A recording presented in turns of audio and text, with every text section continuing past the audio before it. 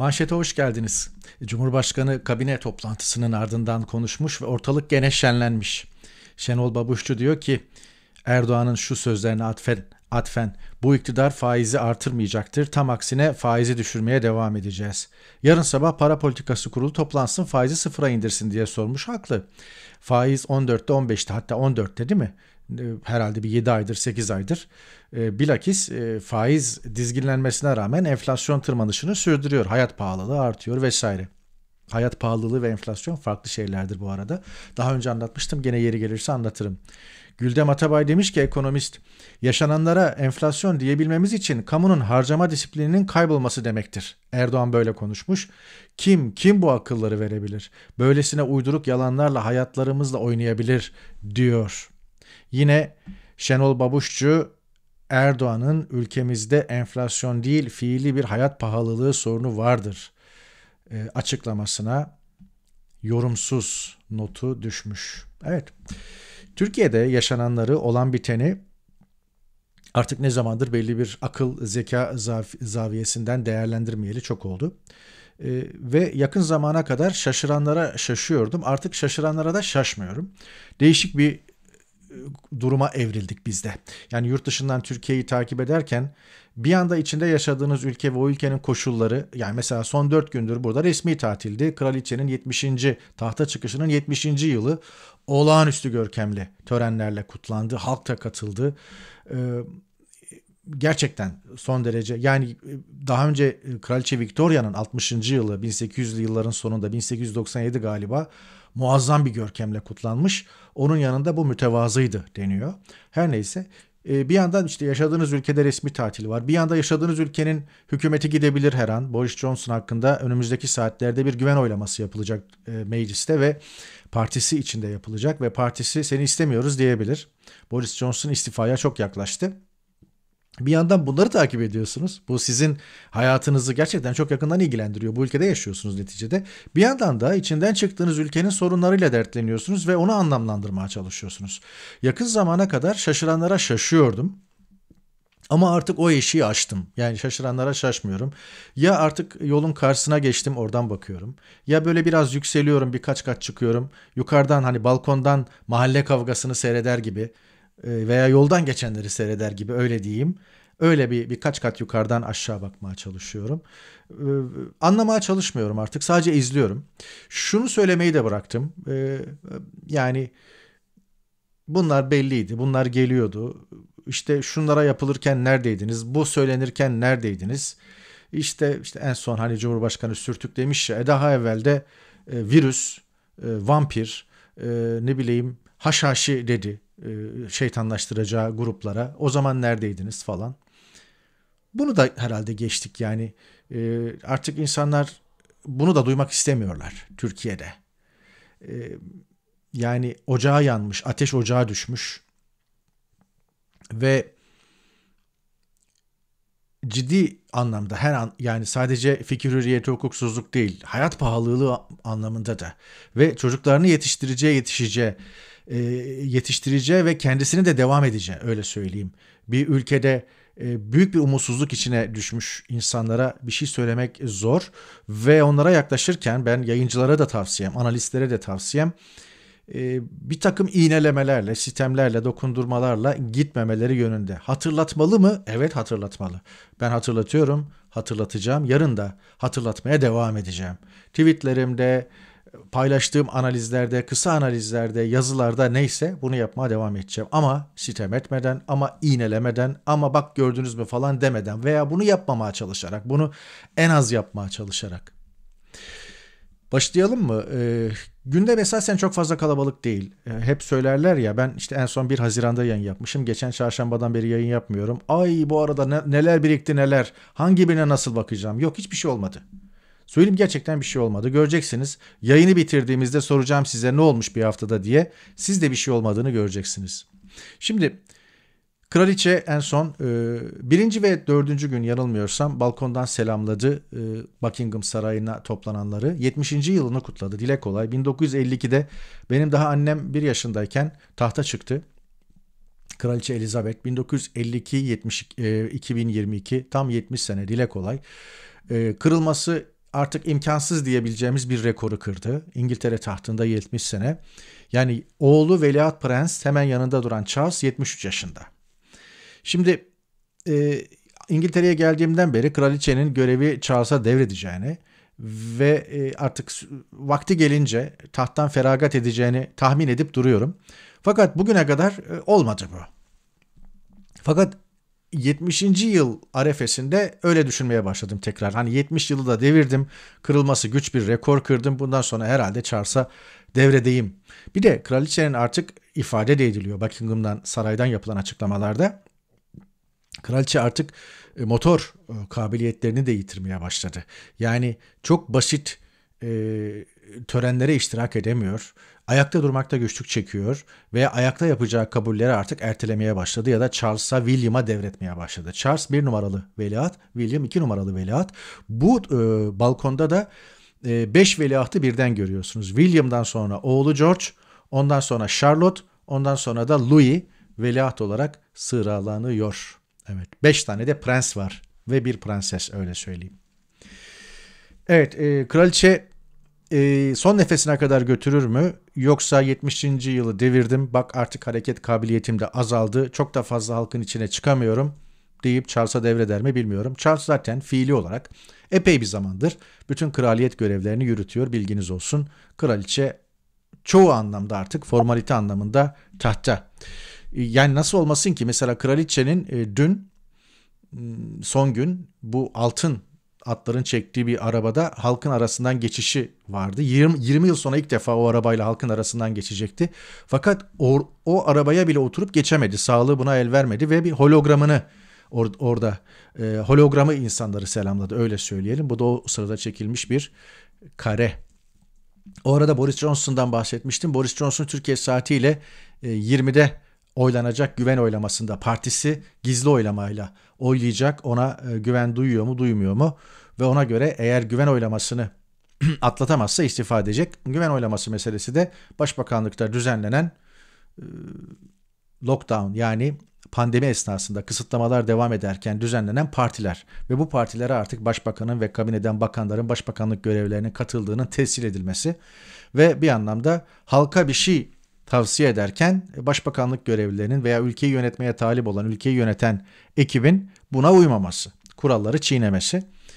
Bakalım ne olacak ee, ama e, eğer Boris Johnson bunu atlatırsa atlatır. Atlatamazsa zaten istifa edecek. Bunu atlatırsa epey süre tartışmalar durulur diyelim. İngiltere'den son bir haber. E, irili ufaklı 70 şirkette çalışan 3300'den fazla işçi bugünden itibaren dünyanın en büyük e, yeni çalışma düzeni denemesi kapsamında e, haftada 4 gün çalışmaya başladı. Yani pazartesiden perşembeye 4 gün çalışacaklar. Cuma, cumartesi, pazar tatil yapacaklar. 3300'den fazla çalışan 6 ay boyunca bu deneme sürecek ve bir şeyi test, test edecekler. Yani aynı verim alınacak mı? Aynı ücreti ödeyeceğiz bu çalışanlara. Aynı verim alınacak mı, alınmayacak mı? Bunu test edecek e, iş dünyası. Önemli. E, umarım başarıya ulaşır ve pazartesiden perşembeye insanlar 4 gün çalışır. Cuma, cumartesi, pazar da kendine, ailesine, sevdiklerine e, ayırır. Kendisi için bir şey yapar. Bu son derece gerekli ve bu yapılabilir bugünkü dünyada. Latif e, Demirci, Hürriyet'in birinci sayfa karikatüristi ani bir e, kalp rahatsızlığıyla 61 yaşında vefat etti. Gerçekten karikatürün acı günüydü. Ben de bir iki karikatürle onu anacağım. İlki 2017 Nisan ayıydı galiba çizdiği Baylok karikatürü. E, o günlerde gerçekten yürek yemiş olmak gerekiyordu böyle bir karikatürü çizmek için ki zaten bu karikatürü çizdiği için de Latif Demirci ve çalıştığı Hürriyet hışma uğradı. Ee, ama o günlerde Hürriyet'in yaptığı nadir hareketlerden biridir bu. Bir diğeri de yayınlanmayan karikatürü e, sözde Agob'un yeri ki e, işte bu karikatür yayınlanmadı ama internete düştü. Sözde Ermeni soykırımı diye geçiyor ya işte sözde Agob meselesi de oradan hareketle e, muazzam bir e, taşlama, muazzam bir hiciv yeteneği, muazzam bir zekası olan karikatüristi. Gerçekten erken yaşta e, göçtü gitti. E, bu da onun Muhlis Bey'i. Arkadaşlar sakın kalıştırmayalım. Fatih gemileri yürütüp İstanbul'u almıştı. İstanbul'u yürütüp gemileri değil diyerek muazzam gene bir göndermede bulunmuş. E, Latif Demirci Allah'tan rahmet diliyoruz. Salı günü e, cenaze töreni Teşvikiye'de düzenlenecek ardından defnedilecek e, bilgisini de aldık. Bakalım Latif Demirci son aylarda e, tümüyle artık gündemini aşağı yukarı hayat pahalılığına ve enflasyonun toplum üzerindeki etkilerine ayırmıştı. Bu fotoğraf Gaziantep Tanzim Satış Mağazası önünde çekilmiş. Ucuz şeker kuyruğu efendim. Bunun gibi nice kuyruklar var. Fakat Hürriyet'in manşetinden verdiği bir haber var ki e, bana göre önemli ve Hürriyet'in bunu manşete çekmeye, çekmesi de değerli. E, Oxfam, e, Avrupa Birliği gıda uzmanı diyor ki e, dünyanın e, benzeri görülmemiş bir açlığa doğru sürüklendiğini söylüyor. Bu başımıza gelebilecek en kötü senaryoydu diyor. Tahıl göçü şimdiden başladı diye ekliyor. Ciddi bir açlık riski var. Mesela Ukrayna Savaşı değil. Ukrayna Savaşı bunu tetiklemiş de olabilir ama susuzluk ve ciddi bir tahıl eksikliği göçlerin ana ekonomik nedeni ve bu göçler muhtemelen Asya'dan, Orta Asya'dan ve Afrika'dan e, Türkiye üzerinden veya Akdeniz üzerinden batıya, Avrupa'ya doğru şekillenecek öyle görülüyor. Yoğun göçlere önümüzdeki dönemde hazır olalım. Bunun nedeni de tamamen ekonomik açlık. Ertuğrul Günay dikkat çekmiş. Doğal ve tarihsel çevrenin tahribatı yakın gelecekte dünyamızı topyekün tehdit eden sorunların birincisi. İçme suyu, gıda ve temiz hava kıtlığıyla karşılaşınca çok geç kalmış olacağız diyor. Evet. Gerçekten bir avuç insan var bu konuları anlayan, bu konulara kafa yoran ve bu konularla ilgili endişelenen Türkiye'de. Enflasyon, hayat pahalılığı demişken hep söylediğim bir şey var. Ekonomik kriz veya kriz e, söz konusu olduğunda denge denetim ortadan kalkar. Ve bir anlamda can ve mal emniyeti de ortadan kalkar. İşte bakın bal mı şurup mu diye girdi maliyetleri artan arıcılar uyarıyor. Neden? İşte e, girdi maliyetlerinden dolayı piyasada taşişli bal artabilir filan diyorlar. Bu her şey için geçerli. Yani yağdan e, her türlü gıda ürününe, sebze meyveden her türlü işte üretilen e, sucuktu vesaire gibi böyle işlenmiş gıdaya işte peynirin içindeki süt oranı ne bileyim yani tahıl e, ve o gıdaların kalitesi. Yani akla gelebilecek her türlü üründe kalite sorunu. Yani sadece yiyecek içecek değil, giyecekte de e, ve satın aldığınız her üründe de yani tatil satın aldığınız burada da bir kalitesizlikle karşılaşmak söz konusu. Aldığınız akaryakıtta da bir kalitesizlikle karşılaşmanız söz konusu. Aldığınız evde de veya oturduğunuz evde de bir kalitesizlikle karşılaşmanız söz konusu. Yani kiralar almış başını gidiyor. Çok affedersiniz hayvan bağlasanız durmaz evler binlerce lira kiraya kiralanıyor İstanbul'da. Çok çok acayip şeyler bunlar. Tadilat gerekiyor ev sahibi tadilat bile yaptırmamış. Sonra işte Cumhurbaşkanı diyor ki fiyat yükselmesinin müsebbibi biz değiliz. Yaklaştırayım bakın. Kim peki? Ya, tuhaf. Gerçi yüzündeki gülümseme de çok güzel yani. Olayı anlatıyor. Muazzam bir pişkinlik var. Sonra Gezi'yi sorumlu tutuyor. İşte bir buçuk trilyon doları bulan bir milli gelirle çok farklı bir yerde olacaktık. Ya Gezi üzerinden ayıp yani 9 sene geçti. Ama dedim ya bu tür şeyleri kritik etmenin zamanı geçti. Batı'nın ilmini alacaksın, ahlaksızlığını değil. Sefer Selvi karikatüründe ahlaksızlığını bilmem ama çöpünün %50'sini biz alıyoruz diyor. Öğrenciler aşağıdan Erdoğan'a. Karikatürist çok güzel konuşturmuş vatandaşı. Fakat şunu söyleyeyim. Keşke Batı'nın ahlakını alsanız. Uzun yıllar çok genç yaşlardan itibaren bizler de bu e, ne bileyim propagandaya maruz kaldık.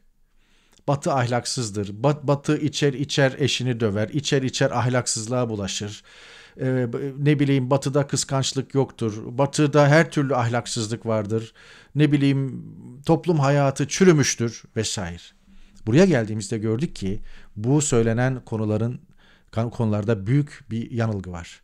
Ve e, keşke batıda belli yönlerde siyasi anlamda, ekonomik anlamda, toplumsal yaşamda ahlak örnek alınabilse, insanların birbirine saygısı, toplum içerisinde hareket ederken, yürürken, davranırken, okullarda verilen eğitimle başlayan, sağlık kurumlarına gittiğinizde gördüğünüz alaka vesaire.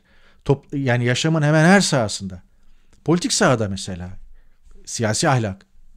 Keşke Batı'nın ahlakı örnek alınsaydı. Ama Erdoğan işte e, bizlerin de küçük yaşlarda bu propagandaya maruz kaldığımız benzer bir propagandayla nesilleri zehirlemeye devam ediyor. Ee, zor yani propaganda bu kadar güçlü tüm aygıtlarıyla eserken sizin karşınızda yok hayır öyle değil böyle demeniz durumuna kadar değiştiriyor bilmiyorum ama bunu yapmaya hayatımız boyunca devam edeceğiz. Bakın e, Yol TV'nin Twitter adresinde Erdoğan'ın bir lafı var. 3 Aralık 2021 tarihli. 6 ay sonra meyvelerini yiyeceğiz. Çin de böyle büyüdü diyor. Ekonomiyle ilgili olarak atılan adımlarla ilgili. 3 Aralık 2021 üzerinden tam 6 ay geçti. 6 ay, bir de 3 gün geçti üstelik. 6 ay 3 gün. Ne oldu? 6 ay sonra meyvelerini yiyor musunuz? Çin Çin Çin'in büyümesi gibi büyüyor musunuz? Fakat bunu yani artık gazeteler hatırlatmıyorlar. Mesela bir 3600 gösterge diye bir şey var. Ben o kadar önün arkasına baktım haberlerin 3600 gösterge ne demek onu bile açmamışlar. Enflasyonla ilgili bir takım fiyat artışlarıyla ilgili bilgiler var. Ya yani yani yılın işte yılbaşından bu yana şu kadar artış oldu falan gibi bir düzeltme gereğini falan bile duymuyorlar. Yani günlük verip geçiyorlar. Geriye doğru bir hafıza yok. Neymiş işte Ahmet Takan Kolisi, Tansu Çiller ekonomi konusunda dümenin arkasında ben varım. Kurmaylarla yapılan toplantılara da katılıyorum. Ya dümenin arkasında Erdoğan var. Yani ne Çiller, ne Nurettin Nebati, ne öbürü, ne bir iki. Erdoğan söylemedi mi kürsüde? Ekonomiden sorumlu benim, ben. Bakın Atatürk Havalimanı'nın pistleri kırılıyor. Yani söyledikleri şeyleri de tutmuyorlar. Pistler duracak falan demişlerdi. Bak işte inşaat araçları girmişler pistleri kırıyorlar. Bu pistlerin kırılması da o kadar zor ki. Havaalanı pistleri en maliyetli unsurlardır ve yerin bilmem kaç metre altına girer. Ee, bildiğiniz o arabaların, kamyonların geçtiği asfalt pist gibi değil yani.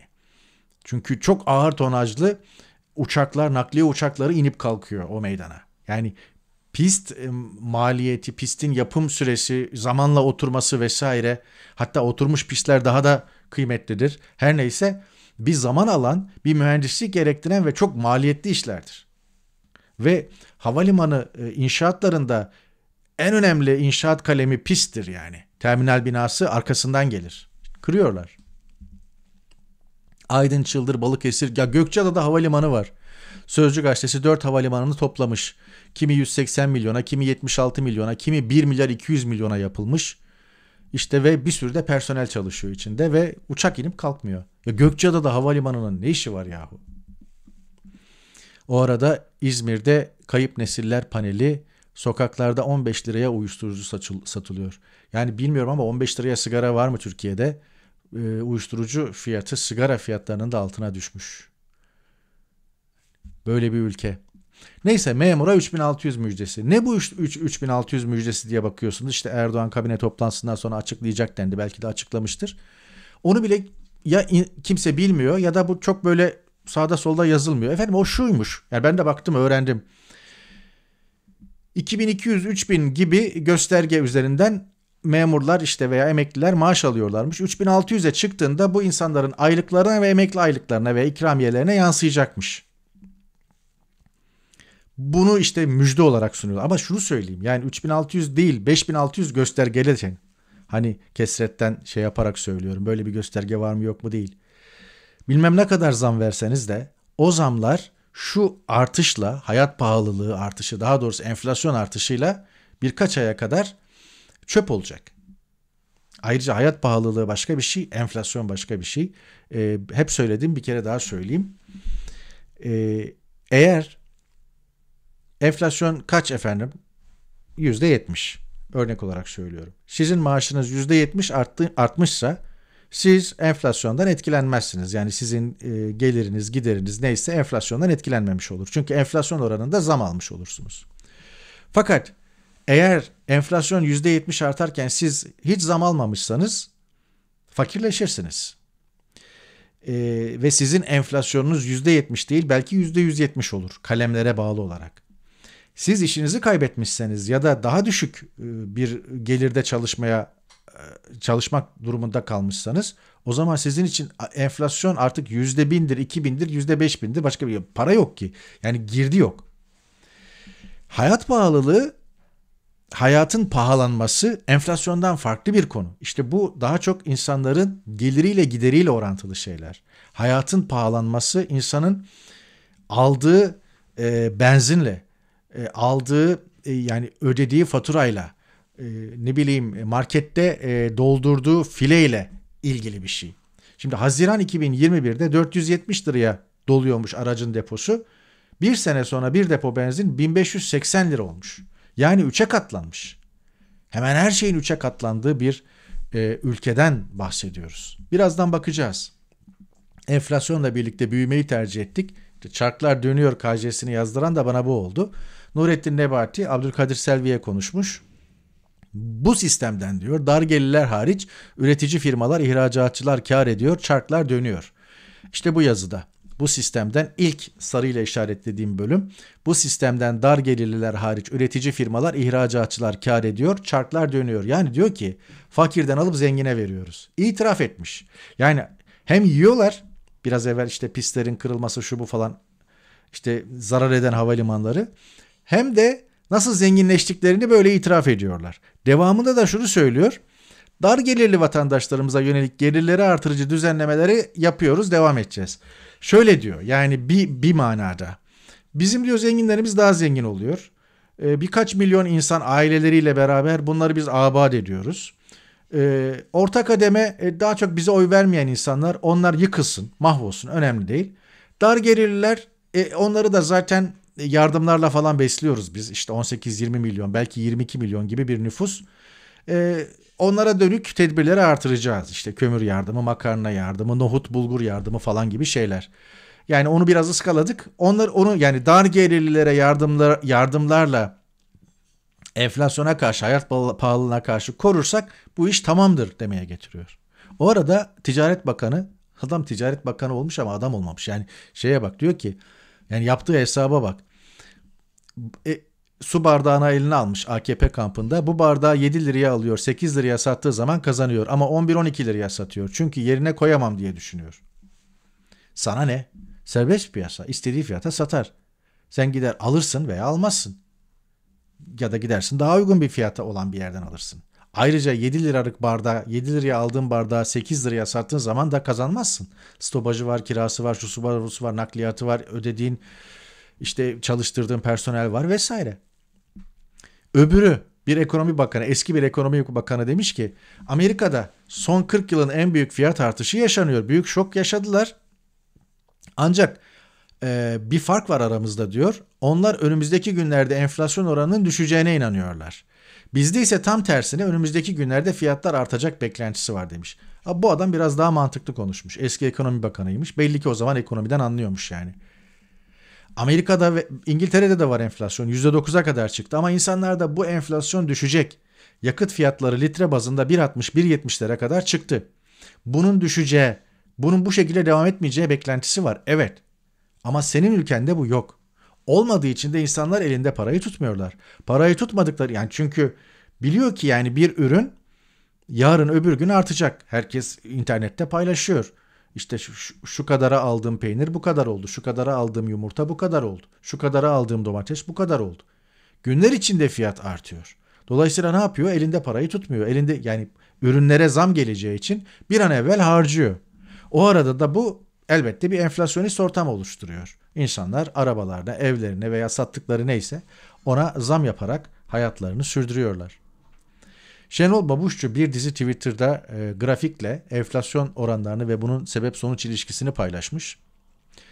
Biliyorsunuz bu e, Mayıs ayı enflasyon verilerinde madde sepeti, sepeti ve ortalama fiyat dosyalarını kaldırdı TÜİK.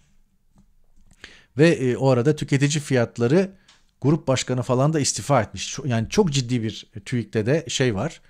E, üst düzey ve orta yönetici e, kadro değişimi var. 6 ayda başkan başkan yardımcıları, fiyat istatistikleri daire başkanı vesaire değişmiş, bölge müdürleri değişmiş. Ee, inanılır gibi değil.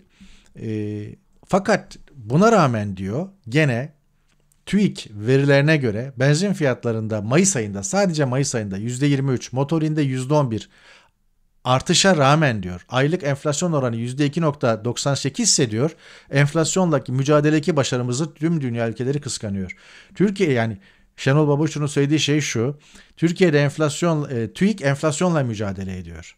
Eğer yani benzin motorin bu kadar artıyorsa benzin %23 motorin %11 artmışsa ve sen Mayıs ayı aylık enflasyon oranını %2.98 veriyorsan maşallah güzel enflasyonla mücadele ediyorsun diyor. Nasıl demesin ki? O arada e, enflasyon değişimi grafiği Hakan Kara'nın e, sitesinden aldım.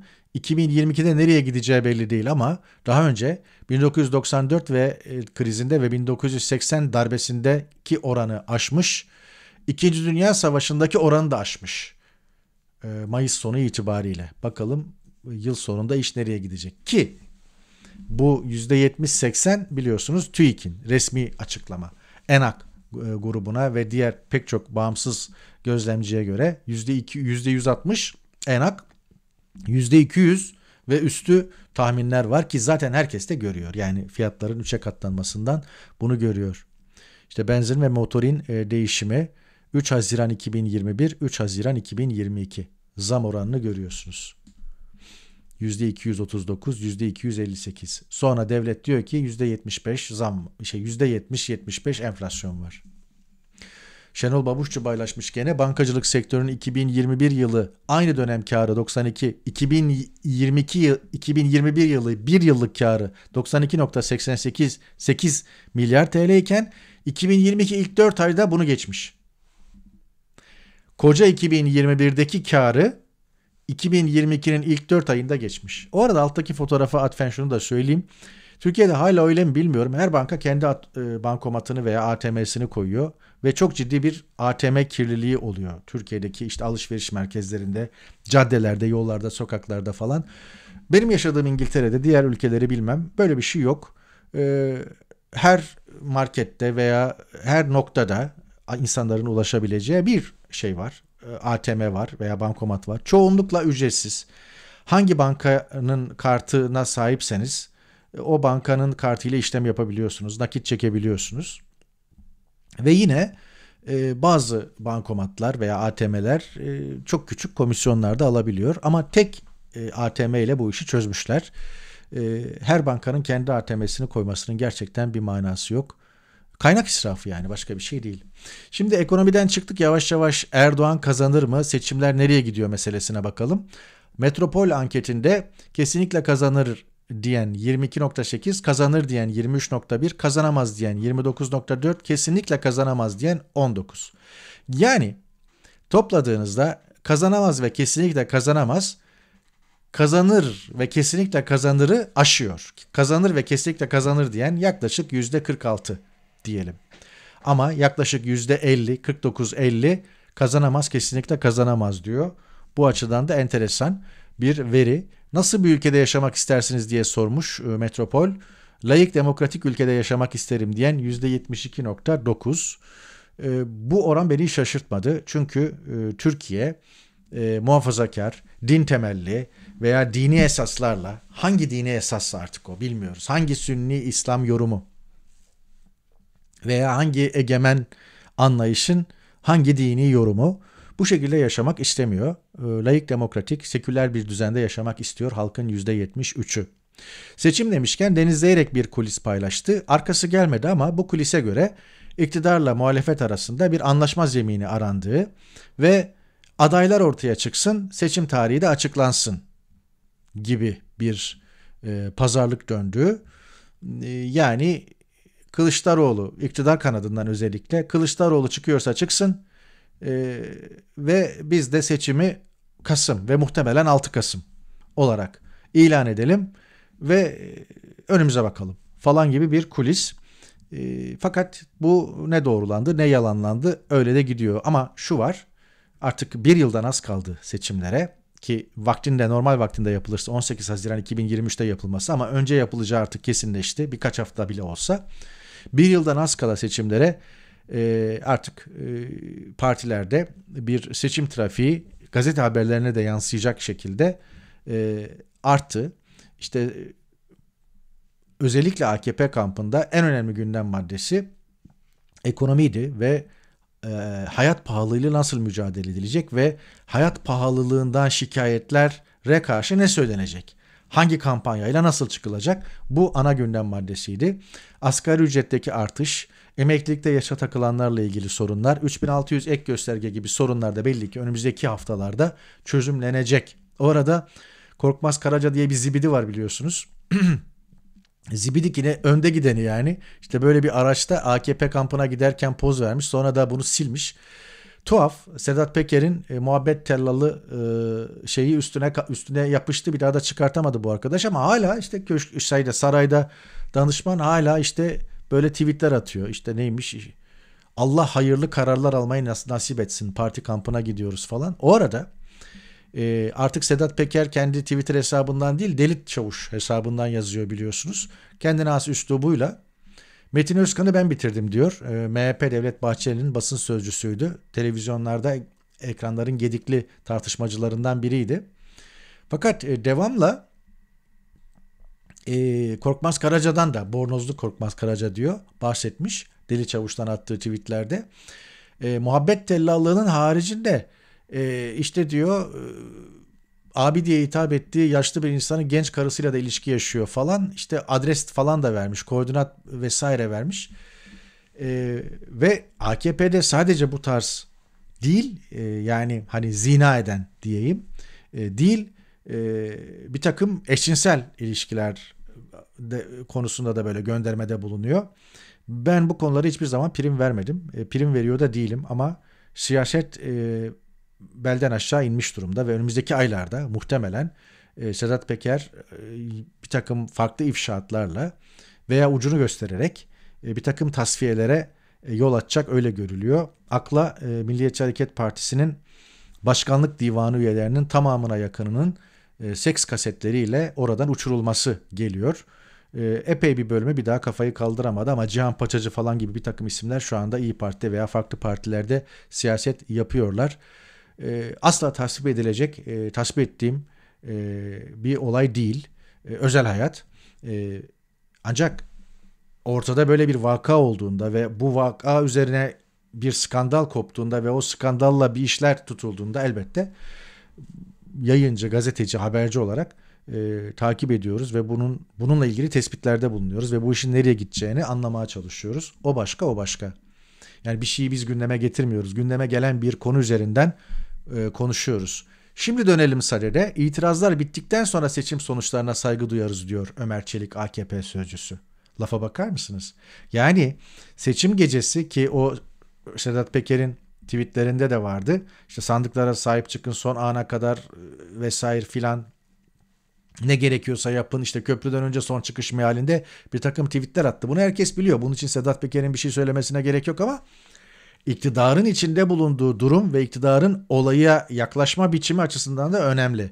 İtirazlar bittikten sonra seçimlere, e, seçim sonuçlarına saygı duyarız. Yani diyor ki Ömer Çelik o gün arkadaş itirazı, YSK'sı, il seçim kurulları, şusu busu e, e, beğenmediğimiz, hoşumuza gitmeyen bir sonuç çıkarsa sonuna kadar mücadele edeceğiz. İşte o itirazlar hangi silahların veya hangi tehditlerin gölgesi altında olacak ona da bakılmalı. İşte Deli Çavuş hesabından Sedat Peker'in bu konuda attığı tweetler. Seçim kazanıldığında şu veya bu sebeple eğer ki iktidarı terk, terk etmek istemeyen kişiler olursa duyumlarım olacağı yönünde o zaman şartlar değişmeli. Sonu her ne olursa olsun hakkınızı alana kadar evinize asla girmeyin. Sonu ne olursa olsun. Evet.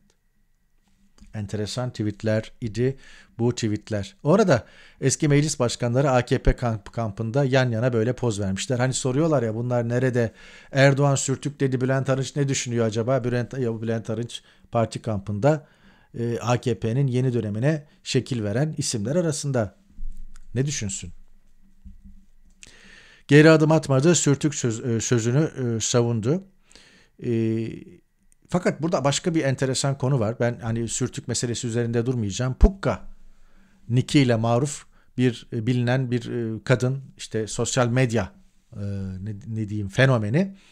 Neyse ki arkadaşlar en azından hayatımızın hiçbir evresinde FETÖ'cü olmadık diyor. Yani bize sürtük dediler hani bu hani sürtük desin ne, neyse ki FETÖ'cü demedi falan demeye getiriyor. Anlayışa bak yani. Bir başka yayında da bir başkası şey diyordu.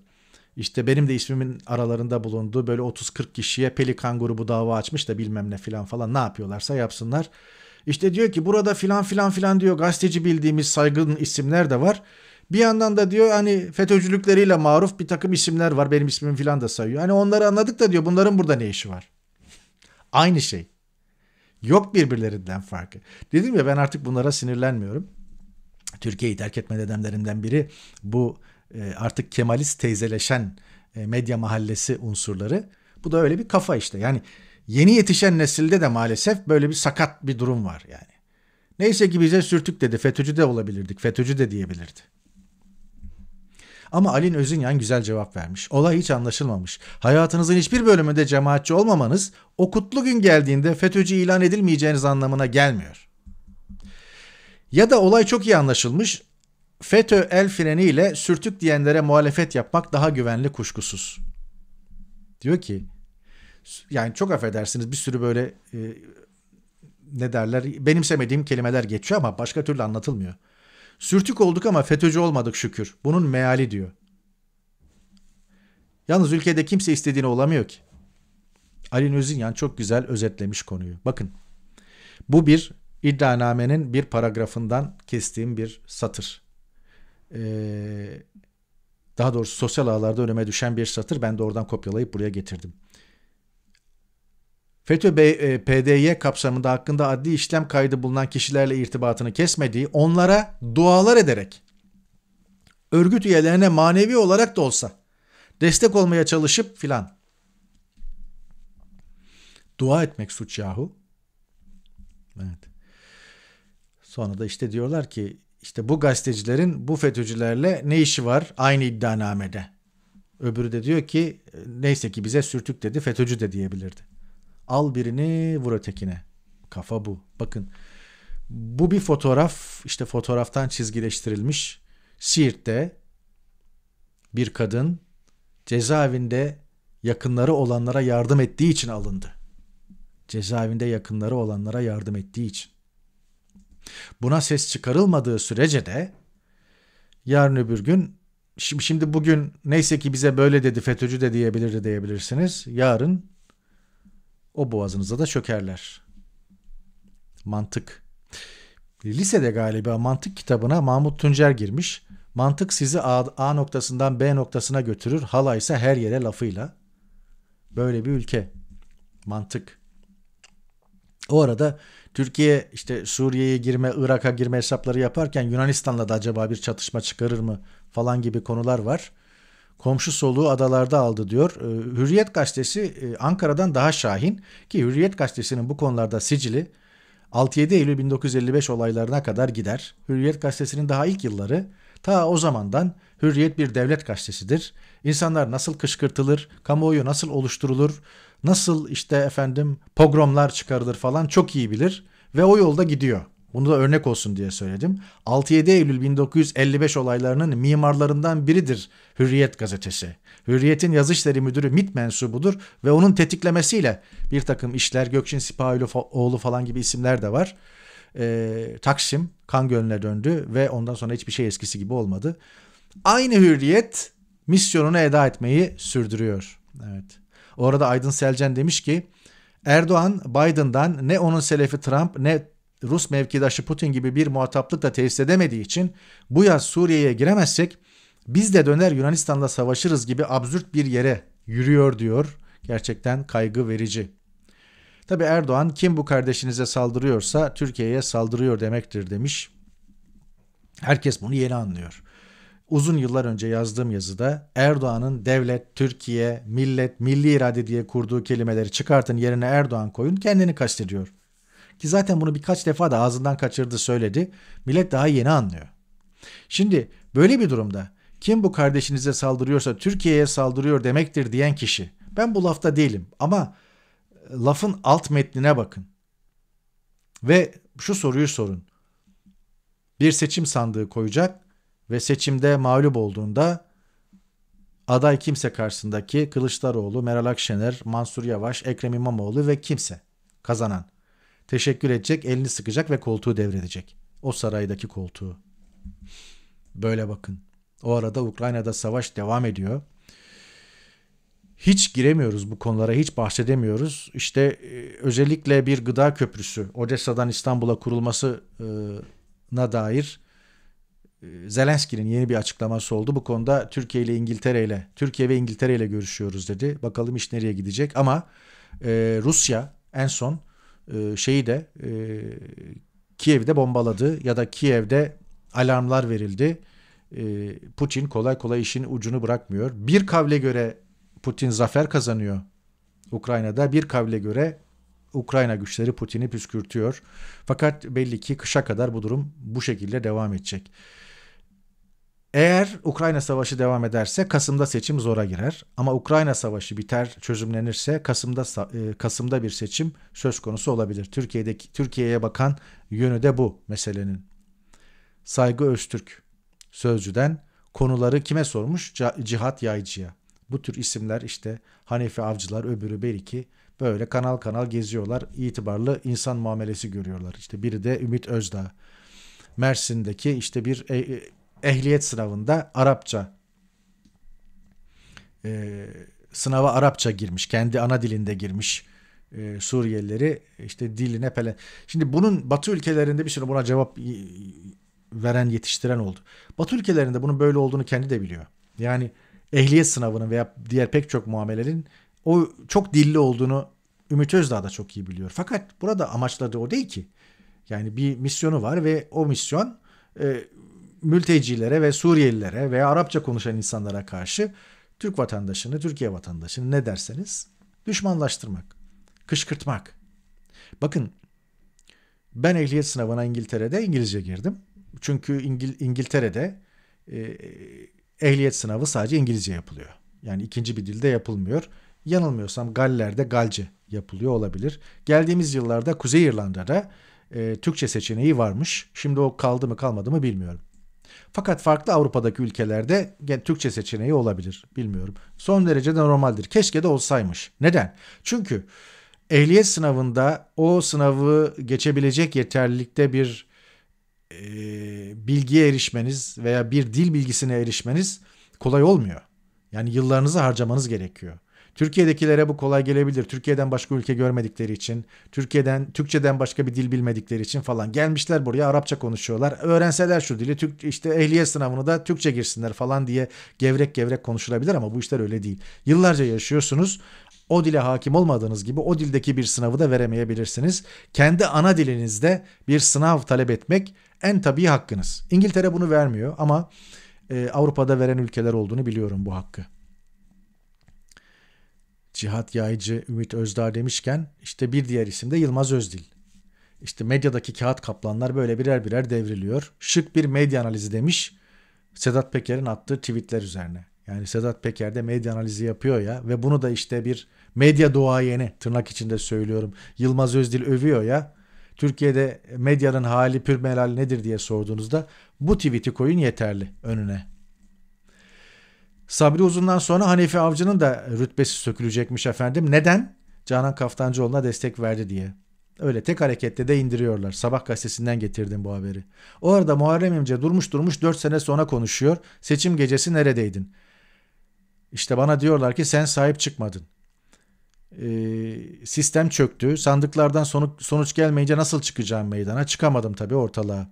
Ee, CHP'yi, parti örgütünü sandığa e, oylara sahip çıkmamakla suçluyor.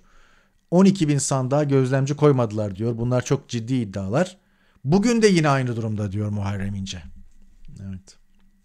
Ama bu açıklamaları 4 sene sonra yapmasının bir kıymeti yok. O arada sessiz seda bir şey oldu. Benim de bir takipçim, e, seyircim hatırlatınca ben de fark ettim.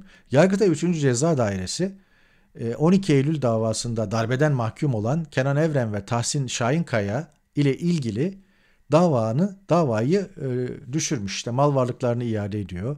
E, rütbelerinin e, rütbelerini iade ediyor vesaire. Yani 12 Eylül e, darbesine ilişkin davada e, şu anda hayatta olmasalar dahi Kenan Evren ve Tahsin Şahinkaya ve elbette onların akrabalarına bir anlamda e, itibarları iade edilmiş oldu. Geçmiş olsun. Sessiz sedasız bir Karardı bu da. E, hatırlatmadan e, geçmek olmazdı. Diyelim ve çarklar dönüyor programını böylelikle noktalayalım. 44-45 dakikayı bulduk. 5-6 gündür program yapmayışımıza verin. Çokça madde vardı kalabalık ama tekrar sorayım. Son bir haftada ne oldu gerçekten? Ve ne konuşuldu? Gündemler çok kalabalık. E, tamam gündemler çok kalabalık ama ne oldu? Belirleyici olan bir şey söyleyin bana. Var mıydı? Bana göre yoktu. Fakat sıcak bir aya girdik ve bundan sonraki aylar itibariyle de öyle. Bakalım e, devran nasıl dönecek? E, gelişmeler neyi gösterecek? Önümüzdeki haftalar, aylar neye gebe? Buradayız bir yere gitmiyoruz. Hep beraber takip edeceğiz. Bir sonraki yayında görüşmek umuduyla. Hoşçakalın.